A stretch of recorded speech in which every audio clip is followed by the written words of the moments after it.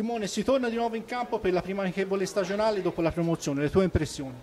No, dai, è bello ritornare a giocare, è stato bello ritrovarsi dopo fin troppo tempo di vacanza e, e rimettersi a lavorare per fare qualche cosa di buono anche quest'anno.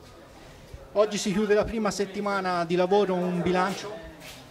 Il bilancio è buono, le condizioni fisiche di partenza sono buone e quindi si può lavorare bene, abbiamo cominciato, c'è tanto da fare e, e abbiamo voglia di farlo.